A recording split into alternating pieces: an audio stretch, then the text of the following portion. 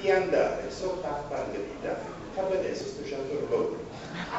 Di andare a vedere sotto la banca d'Italia se ci sono ancora le riserve auree.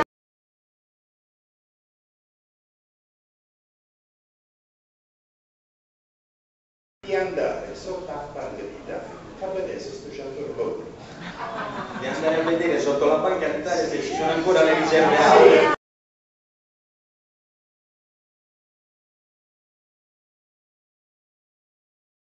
Di andare sotto la banca a vedere se sto c'è orologio. Di andare a vedere sotto la banca d'Italia se ci sono ancora le riserve auree.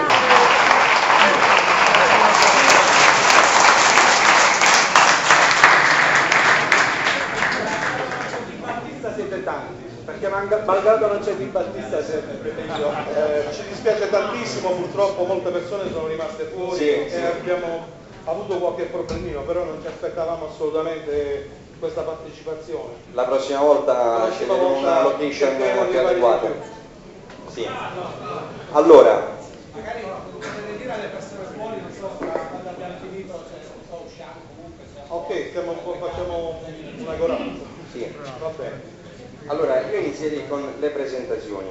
Qui abbiamo alla mia sinistra Vito Crimi. Se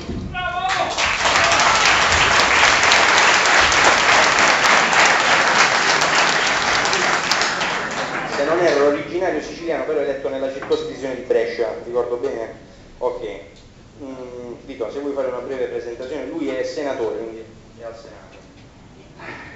Allora, eh, ogni volta che andiamo in giro vediamo queste, queste grandi sale piene è veramente emozionante perché ci fa comprendere l'affetto che c'è intorno e la voglia di cambiamento e forse siamo sulla strada giusta e credetemi è sempre emozionante anche se eh, passi dai, dai comizi in piazza in cui ci sono 20.000 persone poi arrivi in giro nei singoli paesi e vedi questa realtà quindi la prima cosa che mi sento di dire è grazie, grazie veramente di cuore.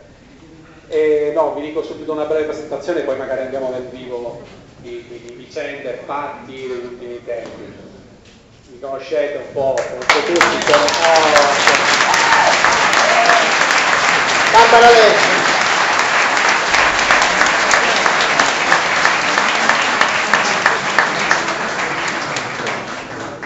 Io sono stato il Sapete che vi guardo e penso che abbiamo già vinto, quello che ho detto all'inizio.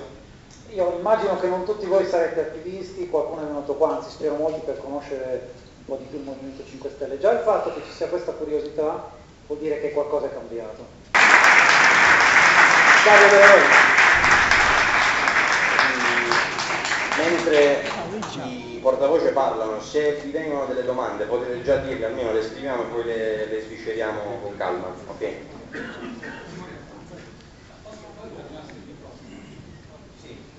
Bravo.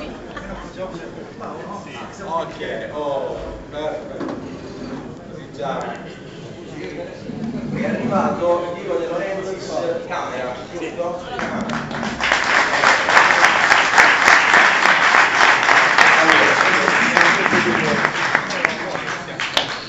Eh, no, prima di passare, dobbiamo terminare con le presentazioni, è il turno di Barbara Lezzi. Ehm, abbiamo preparato una piccola cosina perché, vieni Alessia, vieni. L'altro giorno, come vi ho accennato prima, c'è stata quella volgare aggressione della deputata Lupo e un piccolo pensierino delle donne. Parli da lì Alessia? Sì. Allora, un piccolo omaggio per la Loredana Lupo e il fiore che portiamo sul petto e per essere solidari con lui. L'episodio accaduto all'onorevole Loredana Lupo nei giorni scorsi è stato davvero deplorevole e lo rende più grave il fatto che ancora una volta a compierlo sia stato un uomo nei confronti di una donna.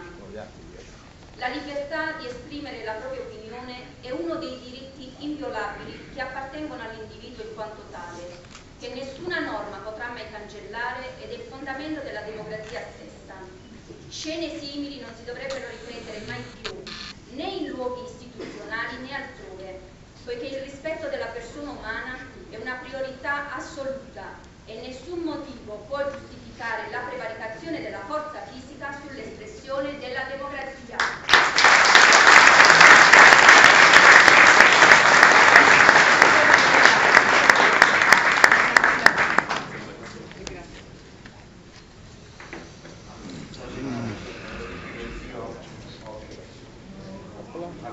Barbara Lezzi, Senato.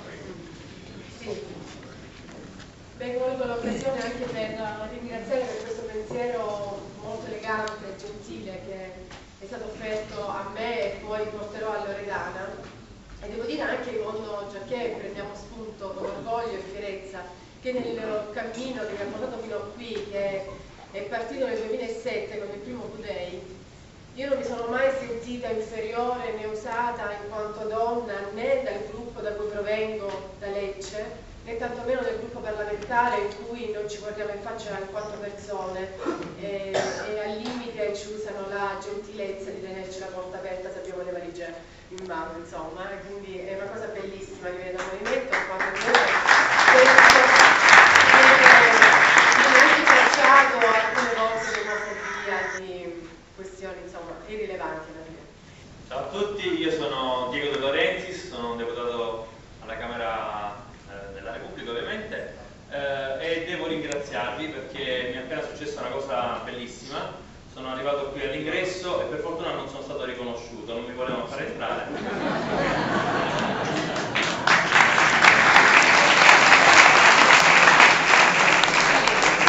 Vuol dire che siamo rimaste persone comuni e che non siamo dei privilegiati, ho dovuto spiegare insomma, che avrei voluto fare anche l'incontro fuori con le persone che purtroppo non sono riuscite a entrare e sono ovviamente a disposizione anche io per eh, eventuali osservazioni, domande o quant'altro.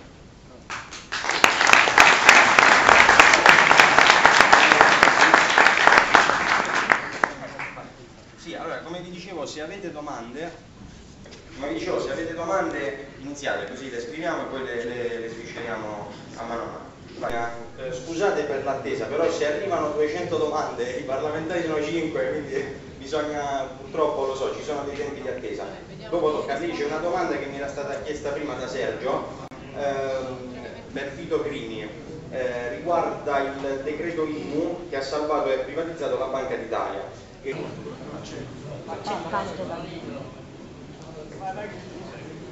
Allora, eh, sono Franco Mutano dell'Unità di Foggia, ti saluto con tutti, gli amici che finalmente eh, San Severo e quindi iniziamo nella Damia, grazie a Dio, a- ad avere questo tutto.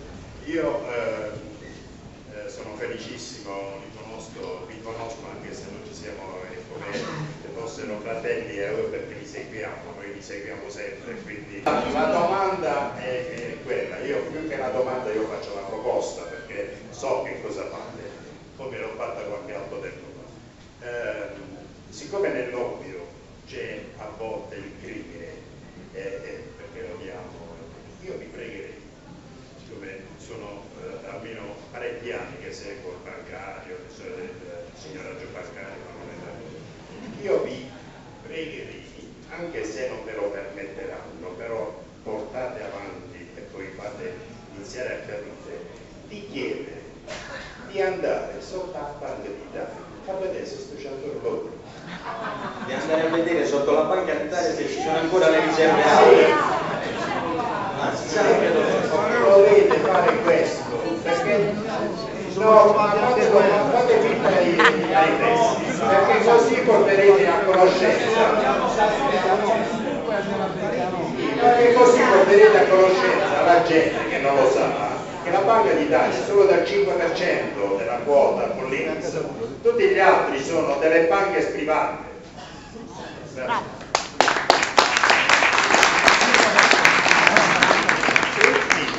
di andare sotto la banca d'Italia a vedere se sto c'è loro di andare a vedere sotto la banca d'Italia se ci sono ancora le riserve auree.